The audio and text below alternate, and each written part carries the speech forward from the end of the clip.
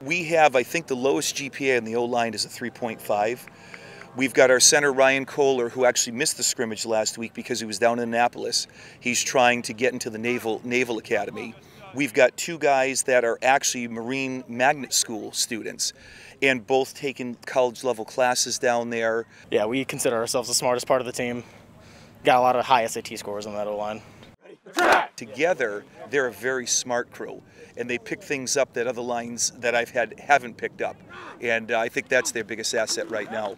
There are a lot of the values that help you in football help you in school, and vice versa. All of us need to have really good memorization, and all of us need to know our rules to the point to where we can just do it without thinking about it. We just need to go up there and know what we're doing.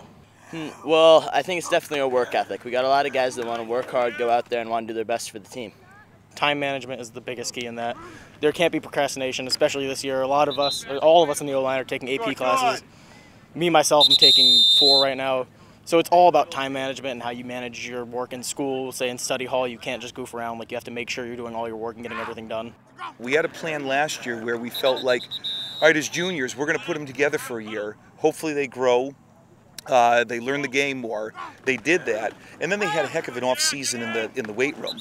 Uh, and so we're excited that they're back. You know, you take each one of them individually. There are no great players, but what we're hoping is the five of them together present a force that's going to help us in these ball games.